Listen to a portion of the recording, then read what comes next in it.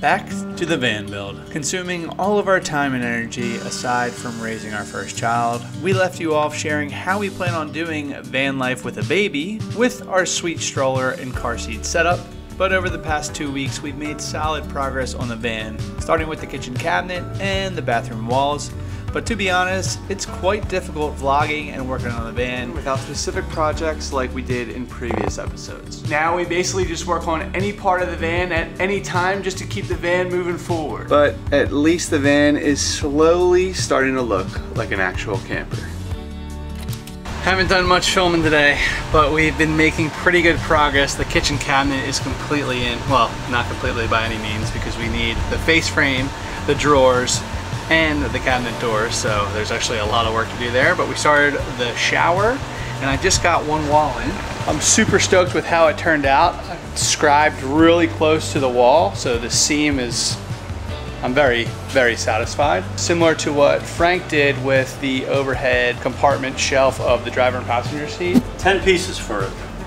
10 pieces. And just add tape and additional pieces of cardboard instead of like trying to use a wheel or like some type of like peanut butter lid to scribe it, it's so much easier to just add cardboard to it and just tape it and build out that template, which is exactly what I'm gonna do for the rear side of the shower where our shower mixer is gonna go and our electrical area is gonna be. But I would definitely use that strategy if I could give one tip to anyone looking to scribe something, just add more plywood and use some tape. Way easier. Whoa, Superman. Flying baby. Somebody doesn't want to sleep. As per usual. We got a good night sleeper, but not a good day sleeper. The guy literally sleeps like 10 to 11 hours every single night, so we are by all means blessed for that. But it would be nice if he could just nap a little bit longer than like 15 to 30 minute naps, right? Then I'd miss all the fun. Then I'd miss all the fun. Here's a quick look of the kitchen cabinet. Starting from the rear side, it'll be drawers, then we'll have the sink, our fridge, more drawers, and then another cabinet on the left side. We're gonna have a propane stove that's gonna hang over the forward facing side in front of the slider door to give us more space. But lots more work to do. It's also Saturday and Taylor's parents tend to clean their rental unit every Saturday and then come over. So we're expecting them shortly. Look who it is. You guys just come over to get on the vlog now. It's not even to see us. You just why. you just want your screen time. That's it. Yo. Yo. Yo, what's up? You notice what I got? Oh, uh-huh. he brought you some. Oh, he did? yes. And there's Oh, some for Frank, so he has, and there's some for you. There's a Awesome. jar, like four or five. thank you. Thanks, Dad. Yeah. Oh, you brought your tape measure. I brought my tape measure. Uh-oh, you know what that means. Yeah, Taylor's mom asked us one of the most common questions about van life. Where are we going to poop? So we showed her the composting toilet we decided to go with, which is not the Nature's Head like our last van. Instead, we went with Ogo, Should be you go. You, That's not a Gio, you go. a composting toilet that does have a fan, but it has some really sweet features and it's more functional from a seating perspective. One thing that you don't realize until you own a Nature's Head that it's really not practical on where you go your number ones and your number twos. But we'll get more into this toilet in the later episodes. But for now, if you are interested, we do have a coupon code with them to get $50 off, and that's MOTM underscore 50. I'll leave a link below. Oh, so it's not exactly the same as the one you had before. Oh no, No, this, this is is a different upgrade. one. Oh, nice. And if you have any difficult cuts, make sure you get yourself a Frank. This is Taylor's dad, and he's coming up with a solution for our awkward spot near the van sliding door that is just really tough to make. But he loves tinkering around with a lot of different pieces of wood to make it work. It is hot and humid again. What else is new? I'm going to be working on this wall today, scribing it out, and then hopefully getting the plumbing fixtures up, the shower head and the shower mixer, and then run the PEX down and then maybe get that wall in. Today we had additional help from the grandparents on the build and with Wyatt, and we are super grateful for the help. It's been quite a challenge, if I haven't said it already. We got Dad behind the camera right now, being the videographer. So if you like his uh, filming tactics, let us know, because then we could hire him full time. With three hands on deck, Dad on the electrical, This tool is absolutely amazing. One bad thing about working out here is you don't hear the music in the radio in the garage, but it's all good. All right, off to Taylor now. Taylor on the windowsills and me on the shower wall, it felt like we were making strides on this build. That was until The last time you saw Dad in a video, it was pouring out. Well, we've been hoping for rain for months, and I think we got it. You got it. And it is raining again. But the solution with having the van backed out right below the gutters is working flawlessly, I would say. It is straight nuking right now, and this technique is so much better than the tarp. We are aborting the mission! I can't believe we did the tarp idea before. I can't wait. I think you just needed an excuse to uh, Tinker? tinker last time. Well, it's been a few days since we picked up the camera and we're making some pretty good progress. We have the face frames on all of the uppers and on the kitchen cabinet now. And we did more of the plumbing. It's time to test the water today and hopefully test out the shower connections to make sure everything is good to go and then we can finally seal that wall up because we can't build the walls until we know there's no leaks near the shower mixer and the shower head. This tank has been installed about six months ago. It's from Northwestern Conversions or Northwest Conversions out of Washington and they have the wheel well tank. It's really nice, really compact and maximizes your space. So let's see if this thing has any leaks.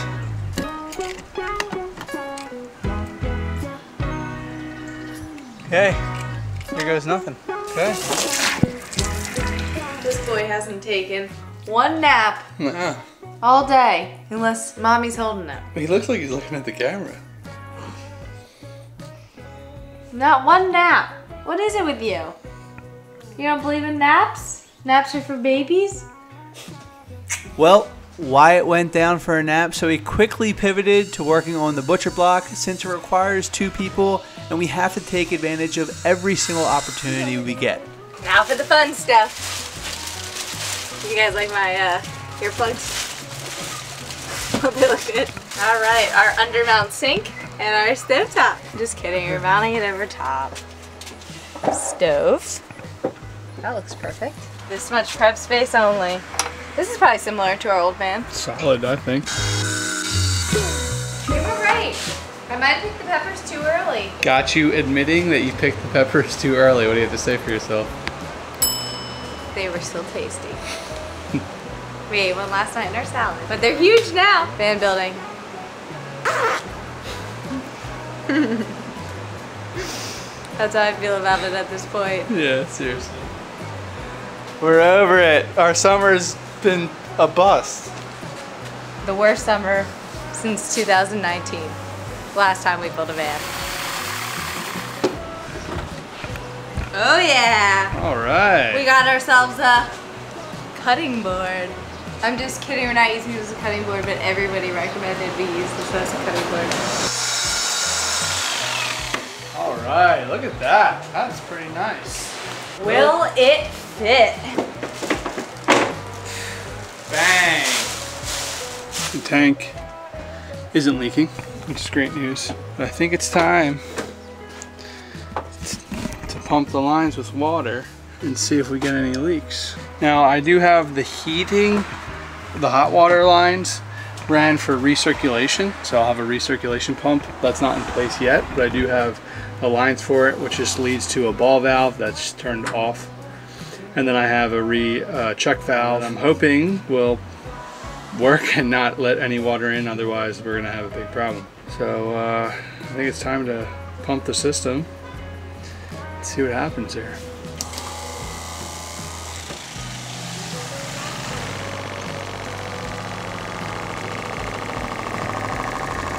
Okay, the pump stopped pumping, which is great. If it was a continuous pump, that would mean there is a leak somewhere and it would constantly have the need to fill the pressure. And I have a major leak right now, which is really bad, right on the heat transfer plate. Place where I really wasn't expecting it. I uh, released pressure in the shower. I'm still getting a slow leak here. Really not where I was hoping to get a leak. This is a tight area.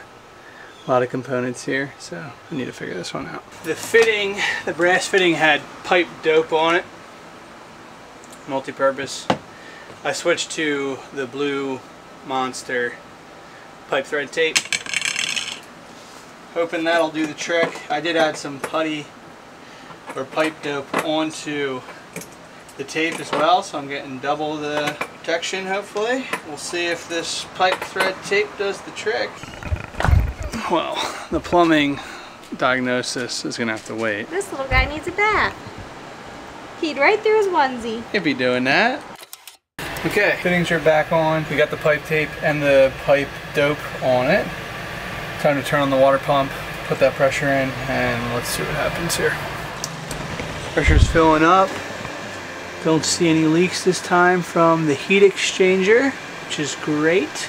I'm really surprised I don't see any leaks from the nylon braided tubing. Usually you get them through the uh, the hose clamps, the like screw clamps. But this looks good now. I'm gonna test just the hot and then just the cold. See how that does.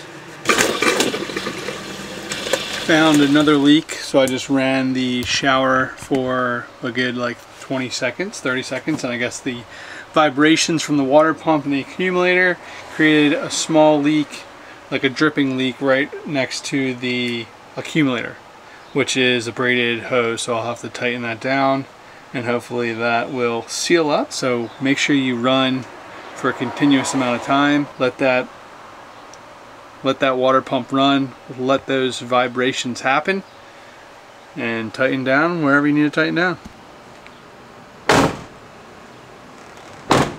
So I didn't get that shower wall in yesterday, but that's the plan for today. Oh Perfect. Oh my god. At least something can go right. You hear that, folks? That's the sound of van building is over for at least one of us. Hello. Thankfully, today is Saturday, so we have reinforcements with the grandparents to lend us a hand. Okay. Yeah, it's nice. Thank you. Got it. How many pieces of wood was that? Nine pieces, and then the three that, which had to add to the van made it 12 pieces of wood. That little, and it's, it's I think it's about 12 inches length by four and a half inches wide. and six hours later, yeah, seriously. but it's done. And, and- That was a time-consuming one. yeah, yeah. That was, lots of thinking. that was that one was fun though. That one was more fun than the other stuff so far. Time to get my surf pole on. This is a relatively easy install, especially if you've seen our ladder install video. It's basically the same exact process, and now we're able to attach our surfboards to the side of the van instead of having to worry about them inside or on the roof blocking our solar panels. Pretty nice. Well, we're getting a little barbaric today. No clothes for me. I'm trying to get some color. No contacts.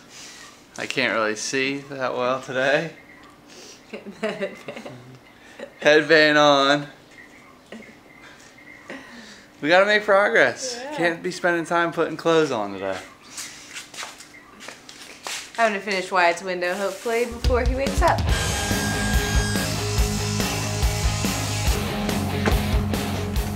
Well, hello from the shower. One, two, three walls are in. I need to make a little like three inch wall right here for the light switch. But so far so good. I'm gonna cut the ceiling, get this in. Well, not get it in, we're gonna poly it. We're using cedar planks. But it's coming along. Loving it.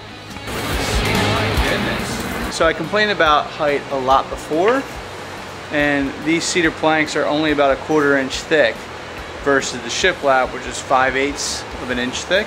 We were going to do FRP, that's what we did in our last van, but it doesn't really look as good, which is thinner than this, but I'm super happy with this. This is really nice. Well, you could say it's been an eventful day. Emotions were flying high. Real high. Wyatt was a little tough today. But we did get work done. It's just we couldn't be working on it together for like not even an hour, which makes things difficult. But look at this beauty. Shower wall with the switch. Light's not in yet. I need to order it. We got the plywood on all four walls now. So it's ready for RedGard. We're getting the Lowe's version of RedGard though. And we'll clean this up, get it waterproof, and then we will put on our Palisade tiles. I think we got that idea from Sarah and Alex. They use that in their vans. Sarah and Alex James, I'm pretty sure. If you're in the van space, you've probably seen their vans. A lot of the vans are heavily influenced by their original design. Look at our cool compartment. Pretty sweet. We are resorting to flashlights outside the van to finish painting. Do yourself a favor. And insulate the door. Insulate the door before you install your kitchen cabinet. This is the second time we did that mistake. Two vans in a row. And maybe paint your cabinetry before you. I said I Put wanted to in. paint the cabinetry before. Yeah, but then you said just get it in. What is she getting herself into at what time is it? 949. 9:49. What is she doing? Will you help me pour this in here? It's very heavy, so I'll be the pourer. You just have to get the rest off the rim. Whoa, whoa, whoa, whoa. That is some thick stuff. So this is the Lowe's alternative to RedGard waterproofing your shower. Can I see it, Tail? What is it called? Aqua Defense. Coming at you. Aqua Also known Defense. as Blue Guard. Blue Guard, nice. So yeah, we're just gonna roll it on. Yeah, use And, paintbrush uh, for the corners, it says. So. Use paintbrush for the corners, it says. So, yeah. so yeah. Almost midnight. Good work. yeah. Looks good. It's getting there. Slowly but surely. How's my hair look? Fabulous. I feel like you're lying.